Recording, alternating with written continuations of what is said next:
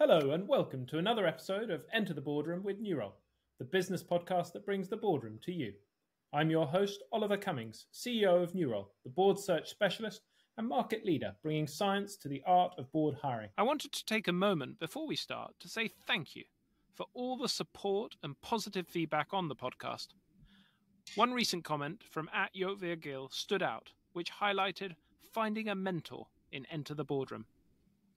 If anyone listening is interested in finding a traditional, in person mentor, do consider joining the Nurole board community, which you can find at community.nurole.com. For just £29 a month, we have created a space where you can get matched with a mentor, as well as learn, grow your board network, and tap into the hive mind of over 60,000 board members in real time.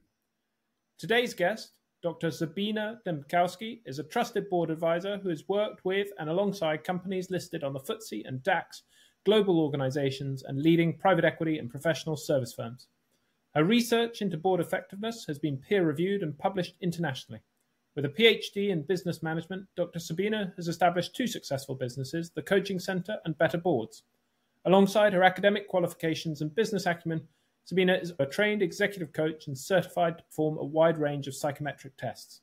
She is also host of the Better Boards podcast. Dr. Dembkowski, a huge welcome and thank you so much for joining us today. Well, it's a pleasure to be here. So, board reviews come up regularly in the mastermind groups that we host, where we bring non executives together to discuss the challenges they face in the boardrooms. And often it's the solution offered by board members to one another to a lot of their problems. So I'm really interested just to start, given that this is your area of expertise, with the question of why do a board review? They ha- certainly have become a lot more popular in the last years. I think we see a great rise not only in the UK but uh, around the globe. And I think it has to do with one reason is, of course, the corporate governance codes that very often states that you should do a fully facilitated external board evaluation every three years and an internal evaluation in the years in between. It's also down to the rise of ESG, where G is governance. Yeah, I think governance has uh, become a lot more to the fore. Look, every country has uh, its own fair share of scandals there's no reason for one country to point to another. I mean, Germany has uh, had a fair share with Wirecard, Volkswagen, uh, the UK lately with Patisserie Valerie, the US. I mean, in every country there there are issues. So I think governance has risen in importance for investors, but also for the general public. I think a lot of things are a lot more transparent what you could easily hide some decades ago, it's now a lot more difficult with media, with social media. And this transparency hasn't stopped in front of the doors of the boardroom. Yeah. It, it has also entered the boardrooms. So boards are really uh, under a lot of pressure. Uh, it's it's enormous. It's not anymore this nice lunches and let's discuss a little bit over a bottle of Chablis the strategy. It has become a lot more complex. There is a great variety on on topics they are dealing with, and they can only deal with this vast amounts of topics. I mean, just think the last years, supply chain issues due to the war, price increases, inflation, cost of living crisis environmental issues, digitalization, cybersecurity. I mean, it's a huge list of, of issues. You can only deal with it if the board is effective. An ineffective board does not have a chance to cut through all these topics and, and add value. I will often hear board members on listed companies and maybe in the charity and government or, or regulated space are the ones that I most commonly come across board doing board reviews, yes. and often it feels like that's because they have to, uh, or they feel a, a, pressure for one reason or, or another. Whereas it's less common to hear of private or investor backed businesses or family owned businesses to do these. Is that consistent with your experience? And so, why, why is that? The, where it is determined by the corporate governance code, where it's clearly stated, we see a greater uptake. There is no doubt about this. It's changing slowly. I think private equity firms are starting to look more into this issue. Many, many years ago, I have written an article and argued that board effectiveness is an often overlooked lever in the value creation process every private equity firm they have a toolkit everyone is pretty much doing the same and i think we only see now with some more progressive private equity firms who, who have created positions like a portfolio development director or something like this, that these firms are starting to look into the issue. What can we do? How can we get greater value from boards? What do we have to change in our practices? We also see that more large private companies are looking into the issue. And that is more under the aspect we want to develop. Yeah, that, that is more for the more curious chairs who, who are ambitious and who don't want to leave any coin unturned in order to become better higher performing, more effective. A view I sometimes hear expressed by board members is, "Oh gosh, we've got to do one of these board reviews, exactly, where we basically, you know, have to tick a bunch of boxes and get told what we already know and pay an extortionate amount for it, so. and it's just no value whatsoever." What's your reaction when you hear someone expressing that?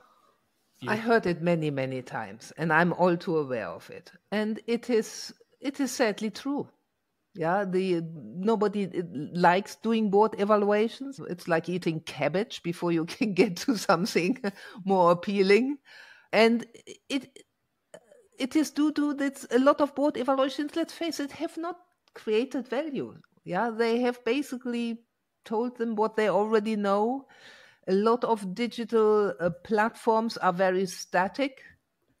They basically let you tick boxes, frankly, mostly around the structures of, of the board work, of the processes of the board work. Have you done that? Have you done that? Have you done that? And let's face it, most of the listed companies have, of course, read the corporate governance code and have put all the, the required structures and processes in place. So I think we see a shift. We try to do things slightly differently in order to add value, but more has to be done to really deliver value. It has to do with what you ask, but also how you ask, how you overcome these preconceptions. It's about delivering real value, insights for the group, for every individual director, that they really understand here is what we can do differently to have a greater impact, to make a greater contribution to performance and effectiveness.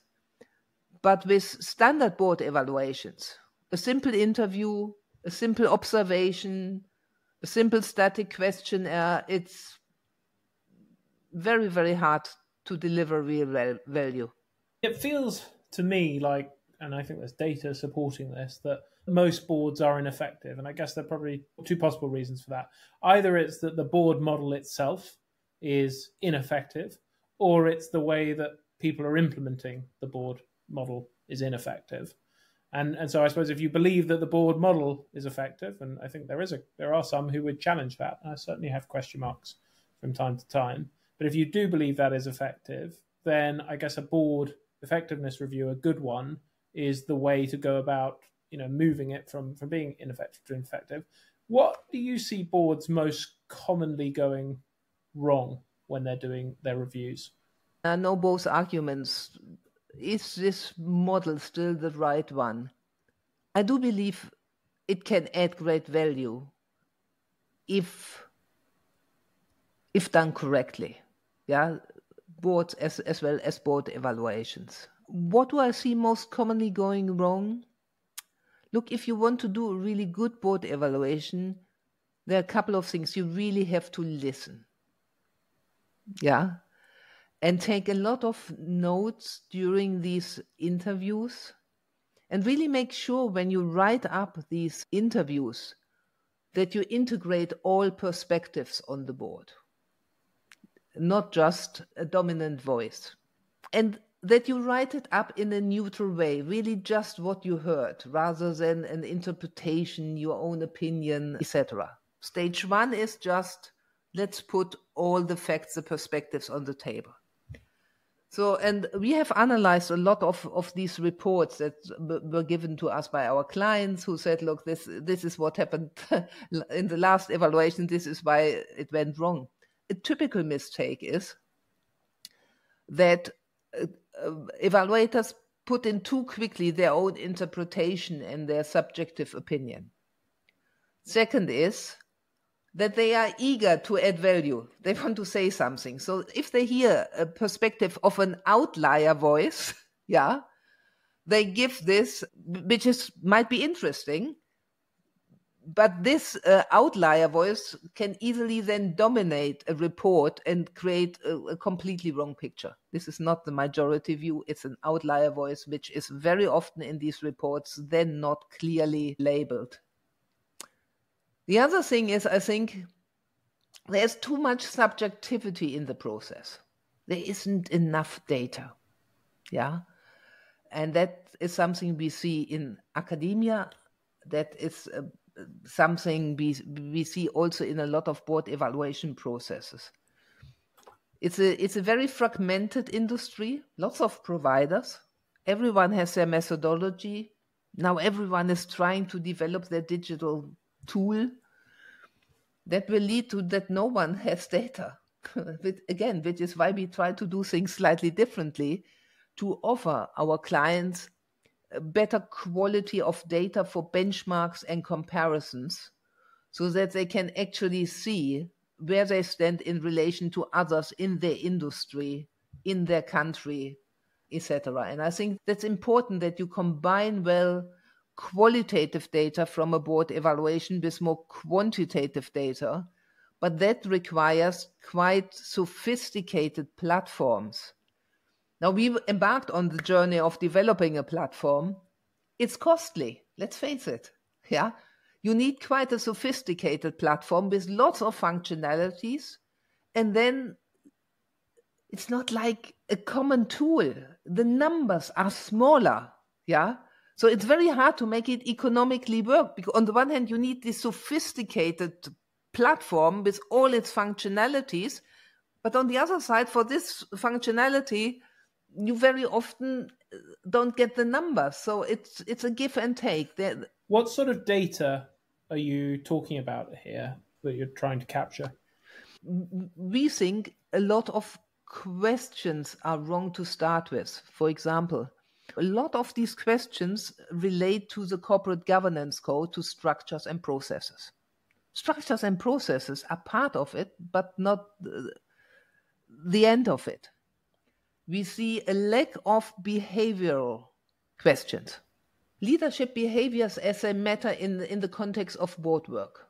Yeah, not a general psychometric test, but what are the leadership behaviors that matter in the context of the board work? uh, how are certain behaviors perceived? So, what, what we do in our work is we capture the data on all the dimensions of effective boards that our research identified. The research is properly peer reviewed and published. Happy to send it to, to anyone. And based on these dimensions, we basically created questions. And now we have the data and can, on each dimension, basically compare clients with each other.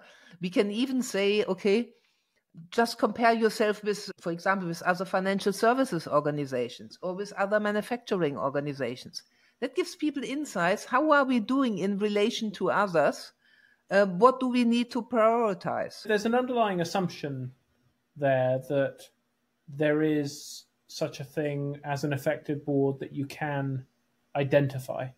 And I've always struggled with that as a concept because it's so hard to run an A B test. You take the board of, I don't know, EasyJet during lockdown, its share price is crashing. The the board might be doing a brilliant job, but ultimately the business is facing a, a situation. How do you how do you isolate and identify that that is an effective board? I mean, that's a one billion dollar question, frankly. With any behaviors, it is hard uh, in all in all the research that you can relate certain behaviors directly to a financial outcome.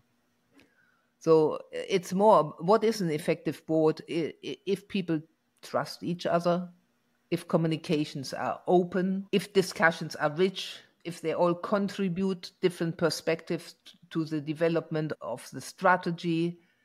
So it's a mix. It's not only these quantifiable things, but also these qualitative characteristics. Uh, and when you speak with directors, it is very often these qualitative characteristics that they feel are not right on their board. Experience, expertise, and the answer is no. Take that to an extreme you know, if you take something like trust, people always talk about trust being really important.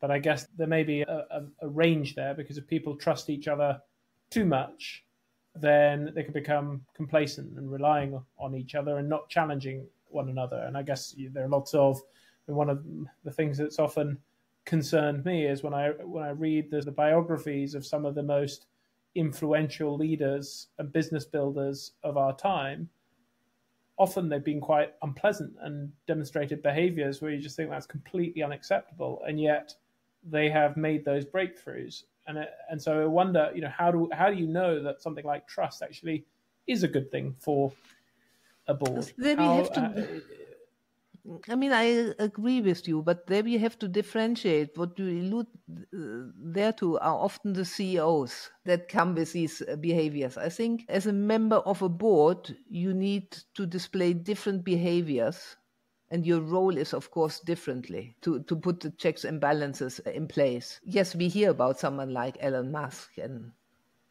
Steve Jobs, yeah.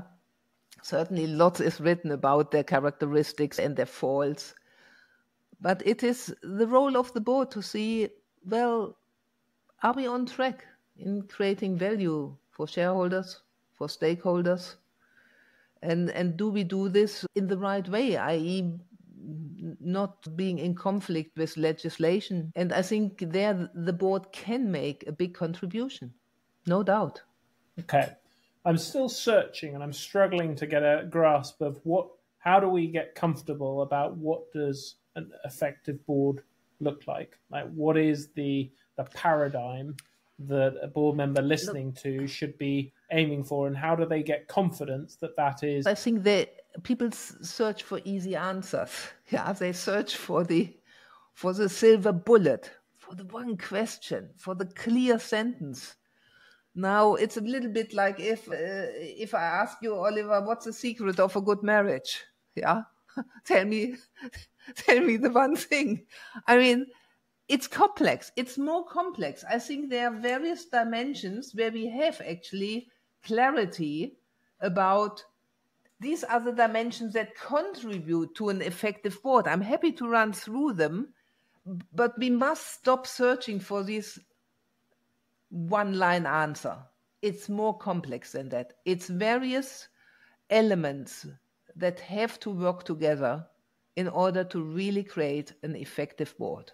Got it. Okay, so it's a it's a combination of factors, and and in your experience, is that is there a sort of an 80-20 rule there that actually boards that do these kind of twenty things well will be by and large effective? Is that or or is it you know thousands of, of factors? We we have categorized it in the research in, into seven what we call seven hallmarks of effective boards. One is does a board understand its strengths and to build on its strengths and to leverage each other's strength? I come to that point at the end again. Do we have the right composition of the board? Not what someone from the outside told us, but is the composition right for the development where we are as an organization? Is it right for what we try to achieve as an organization? Then it's about clarification of roles and responsibilities. Is it really clear about who does what? Yeah, lots of overlap. If you have previous executives joining boards, I mean, it's it's hard to step into the new role and, and leave everything you learned as an executive behind you. It's around are we aligned around the vision, goals, and the focus for the board? I mean, sometimes hilarious results in our evaluation. The board has very different ideas what should be done in the next 12 months. I mean, that makes it a little bit difficult, yeah? Then it's, of course, structures and processes uh, of how the board work is organized. That we all know processes can always be improved, yeah? And there are some standard items that you hear almost in every board evaluation. The board packs are too large, yeah? The papers need to be distributed earlier, we don't manage to stick to the agenda. We always overrun. I mean, these are probably the three things that very often come up. The ability to resolve conflicts. Are we able in our group, but also our group versus executives, can we resolve conflicts well? And the last one is regular reviews and reflection on how we work together. Now, what does research say? In terms of research, the, the strongest correlations are seen on, on two of these variables. Is the board able to leverage the strengths uh, of each other? And does it take out regular time to reflect on how it's working together? Let's just look at these two points. I completed my doctorate in the 90s, started work as a strategy consultant. And on a Friday night, you stood outside the pub in the city and you drank unlimited. Yeah. And on Friday, pretty much from lunchtime, the same. When you organized a team dinner, you basically counted two bottles of wine per head. These times are gone. Now we laugh about it. We have become a lot more health conscious. A lot of things are taking place virtually. A lot of board meetings are hybrid, these days. Not everyone meets physically. Sometimes they work together for a year or two and have never really physically shaken hands. There is a correlation which we can't talk away between the quality time you spend with someone and how you know someone. You can put things in context if you know someone. You can put a question and answer he gives in the boardroom in, in, a, in a context. If I spend quality time with someone, I know exactly what his her strengths are, how I can make use of this. That is often missing. Yeah. And then it's not the board evaluation that goes wrong. yeah also, there is no doubt that teams that spend time on a regular basis reflecting how are we actually working together? What goes well? What would be even better if? I can recall again in the, in the good old 90s, yeah. After every project in consultancy, we were doing a table, uh, yeah. What went well, even better if. Simple table after every project. Make my team do it after every meeting. Does the board take time to do that? The answer is no. People leave the boardroom early because they have to catch a train or a flight. Everyone is rushing around. I see this on our bookings for board away days. How many board away days did I schedule around uh, the year 2010 and how many board away days do I schedule these days? People don't want to spend the money. They don't have the time for it but it does make a difference. People want quick answers. Ah, can you shorten the questionnaire? We just have 20 minutes. 20 minutes, but we want all the insights. And by the way, and at the end, you present us the results at a board meeting, very often at the end of the day. Yeah. I booked in for half an hour. Oh, but it would be good if you can do it in 20 minutes. Yeah, I can. But I don't need to know the data. You need to own the data. You need to own the results and you need to do something with it. And that very often gets sadly lost. Is that because the connection between doing this and the value that it delivers is not clear enough to people? Is it the incentives? I also spoke with the FRC about this. The uptake of board evaluation is very good, particularly in the UK.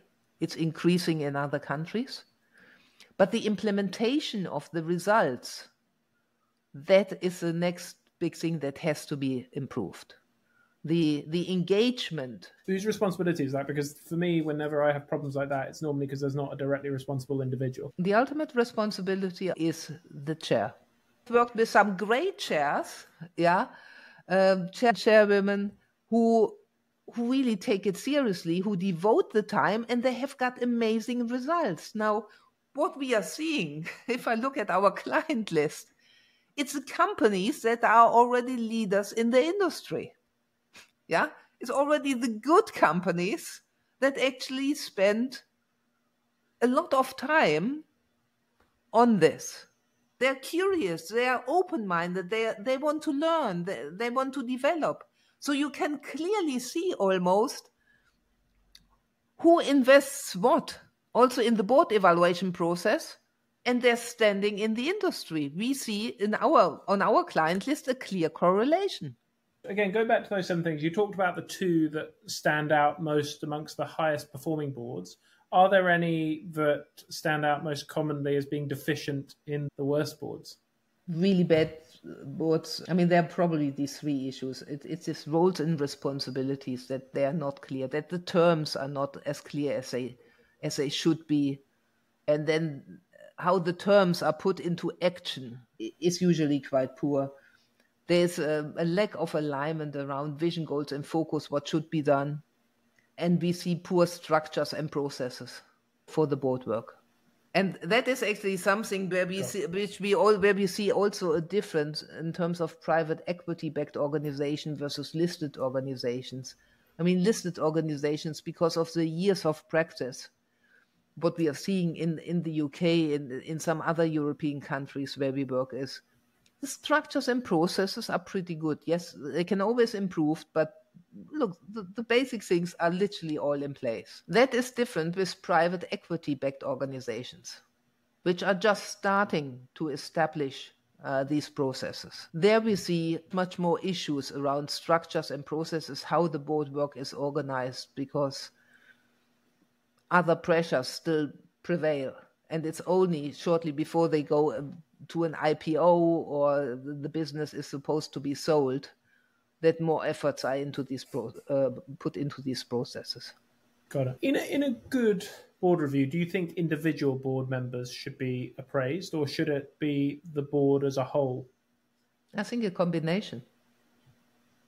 Yeah, I think definitely a combination between the board as a as a group, but also insights for each individual board members now, and, and that is a tricky issue. I, I think a lot of consultants shied away from doing that because maybe they have also other interests.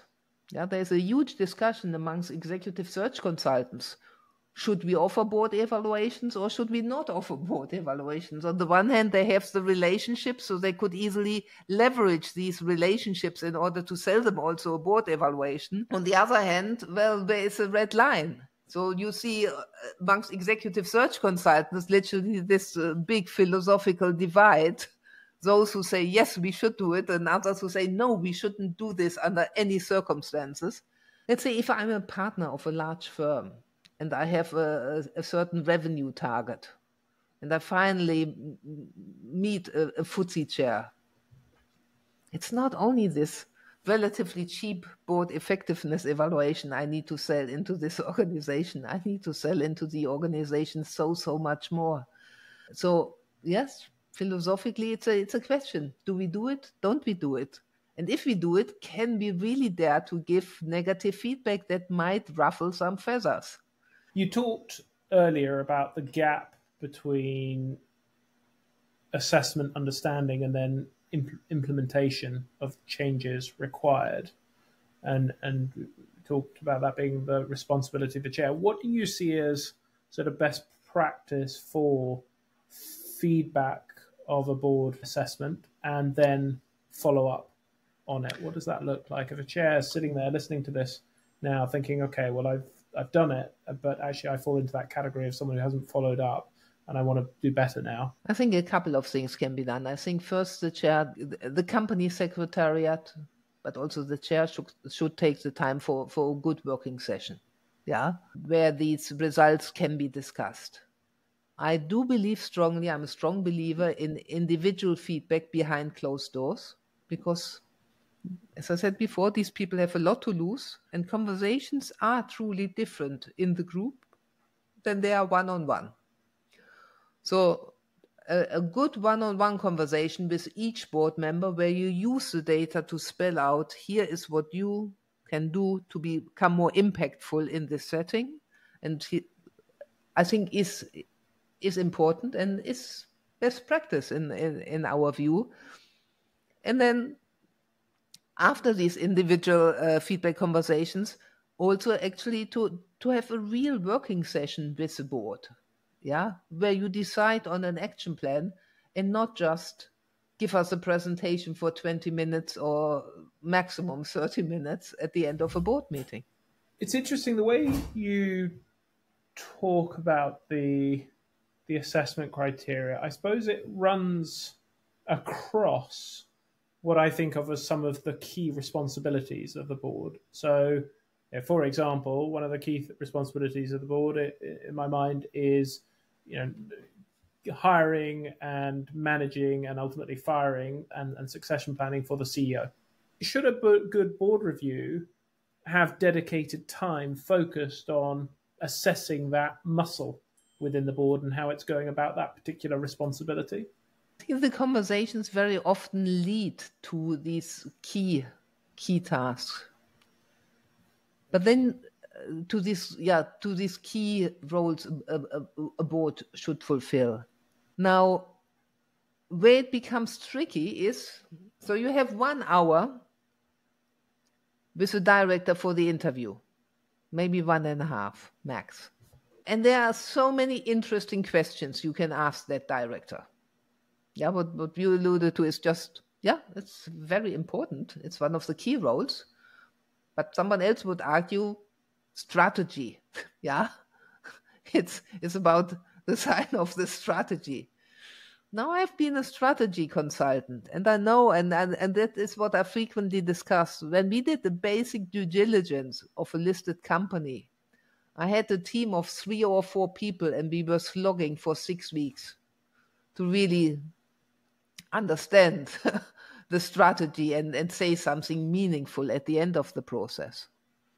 Might be that some strategy consultants are a lot quicker these days, but can you really, with all the areas that you have to cover in a board evaluation process, dive deep on each of these issues and say something meaningful. I have particularly discussions around strategy, yeah, because a lot of people, ah, can a, someone who evaluates a board, an executive search consultant, whoever it is, if they incorporate some questions on strategy into this or into key tasks like succession planning, development uh, of an executive team, these are big, big issues. How much is possible? We have to be realistic. How much is really possible in, in in this process? And that is where we become skeptical because if you want to go into every role into every task they have to do then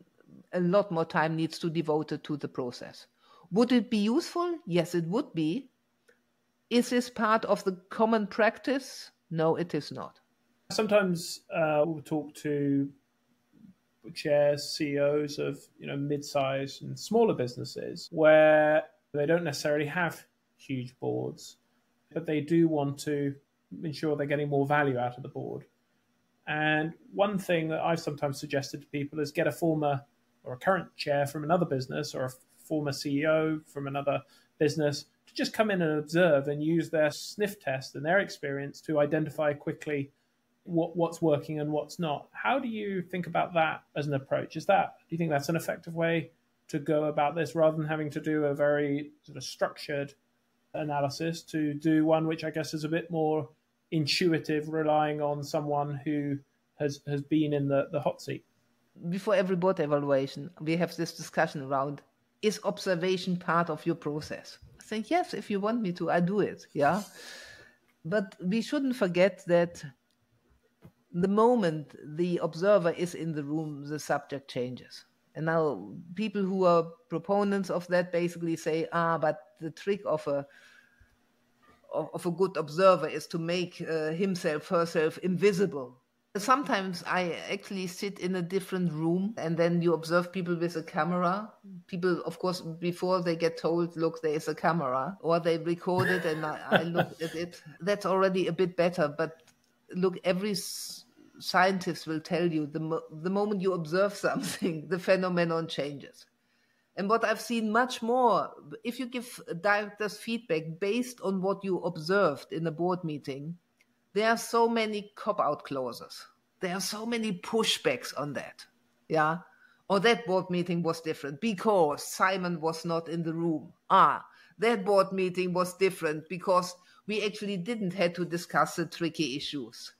Yeah. So there are so many standard arguments you hear why the data point you collected from a board evaluate from from from an observation is really not this valid which is why I'm highly skeptical.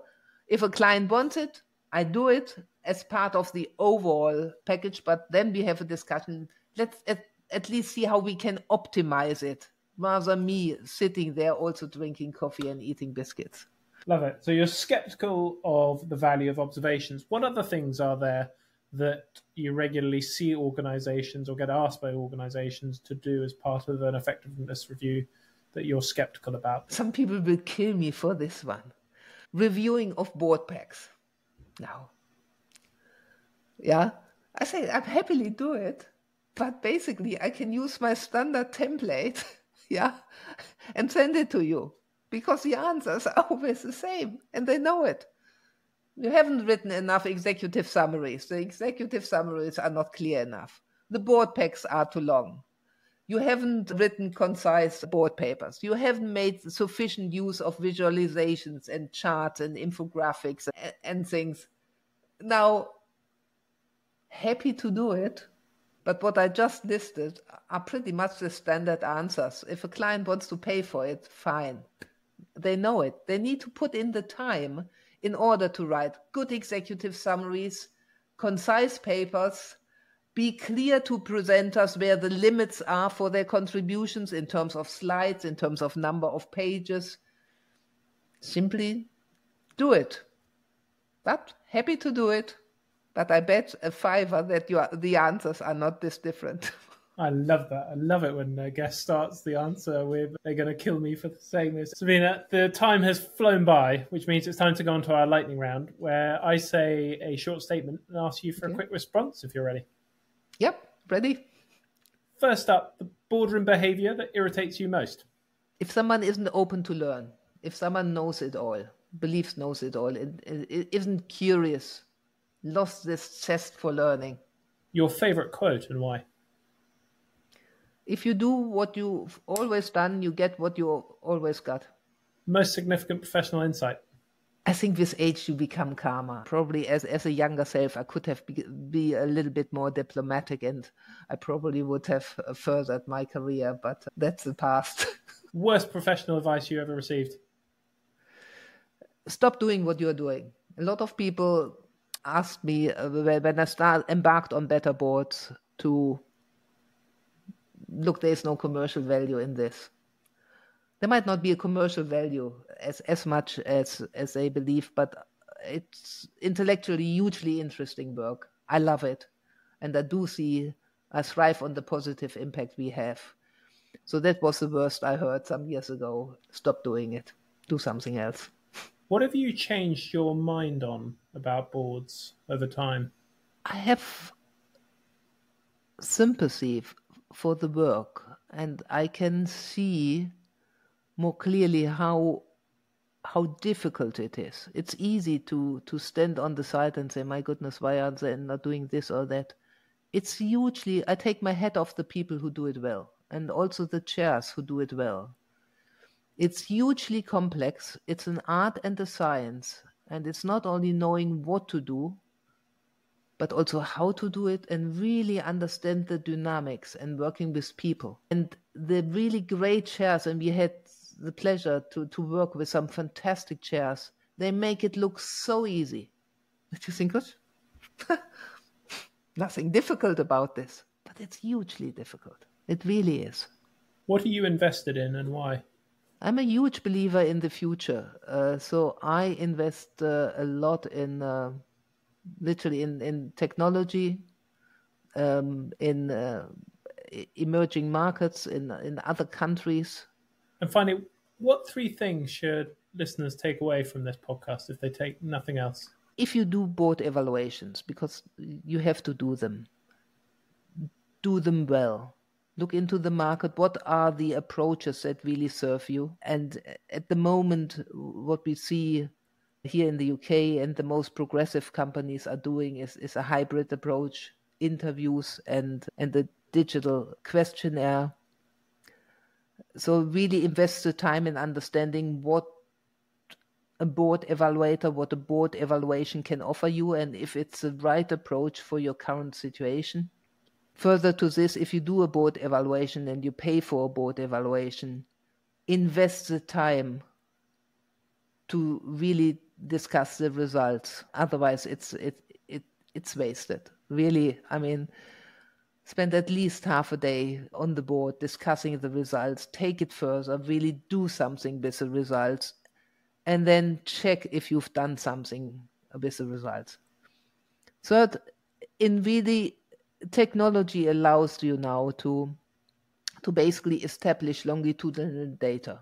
So if you do a board evaluation and you use a platform, you use the same the next year, the year after, so that you compare like with like and you see have we made progress, haven't we made progress.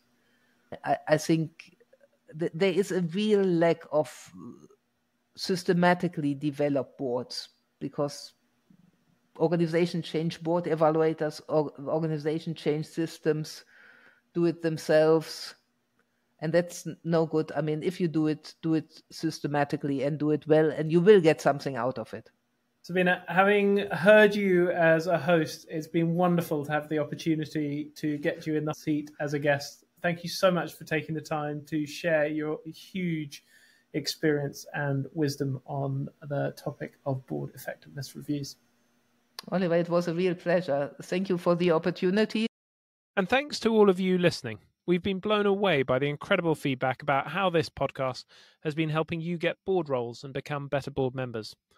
This podcast is for you, so if you'd like to suggest guests, topics, difficult challenges, or you'd like to share stories about how the podcast has impacted you, or have suggestions on how we can improve, please email podcast at nurole.com. That's podcast at nurole.com and let me know. I'd love to hear from you. Otherwise, thanks again for listening and look forward to having you back here for the next discussion.